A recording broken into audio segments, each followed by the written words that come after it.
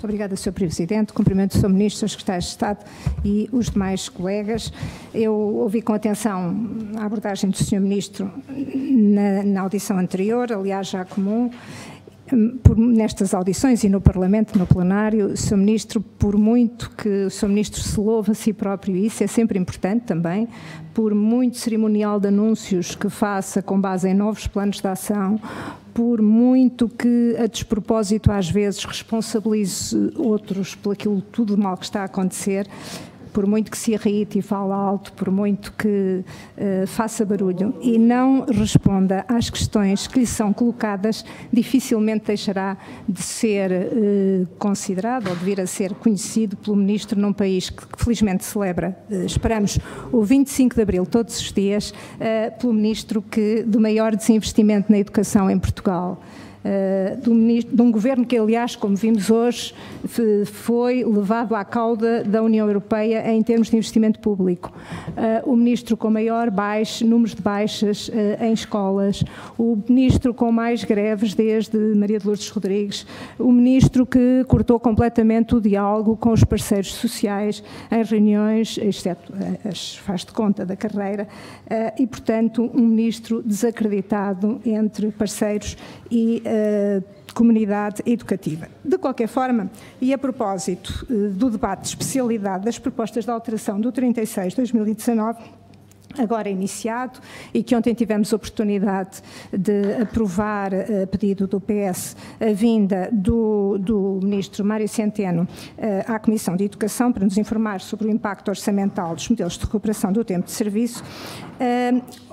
Para o PSD, que desde 2018 pede e requer ao Sr. Ministro, em várias perguntas e requerimentos, os dados que estão na base do racional do Governo, uh, sem sucesso, não é estranho, portanto, que o PS não confie no Sr. Ministro e uh, confie uh, no Ministro da, das Finanças, porque, para poder ser explicado. Naturalmente que nós fizemos contas com a informação pública que temos, fizemos contas não só de somar, mas também de subtrair, dividir, de multiplicar. Fizemos o trabalho de casa e é importante para os portugueses perceber, e aproveitarei esta audição, esta parte, para lhe perguntar se o Sr. Ministro também as fez ou não. E, eh, caso tenha feito, penso que só ajudará ao debate que vamos ter durante eh, a próxima semana. E passo a fazer, portanto, um conjunto de perguntas que pedia que respondesse. São várias, agrupei em quatro grupos. E no exame de autocontrolo diário que faço, uh, irei, pode, o Sr. Ministro pode chamar, enfim, uh, pode irritar-se de chamar o PSD ou PPD-PSD, aquilo que quiser, os seus presidentes, que eu uh, garanto que só terei ouvidos para as respostas que me der às perguntas que vou colocar. Primeiro tem a ver com a aposentação de docentes. Considerando que é o tal, eh, como referia, eh, e nós salientámos na discussão do, do, Orçamento de Estado, que a educação é um dos dois setores que mais contribuem para a redução da despesa, fundamentalmente pela aposentação dos docentes, as perguntas que faço é quantos professores se irão aposentar este ano, bem como nos próximos sete anos, e em que escalão de, de, de, de vencimento serão posicionados, ou estão posicionados. A segunda, se sabe de nos dizer qual a poupança do Estado por aposentado, considerando o impacto na segurança social. Naturalmente nós temos contas, fizemos contas, mas gostaríamos de ver se estão corretas ou não.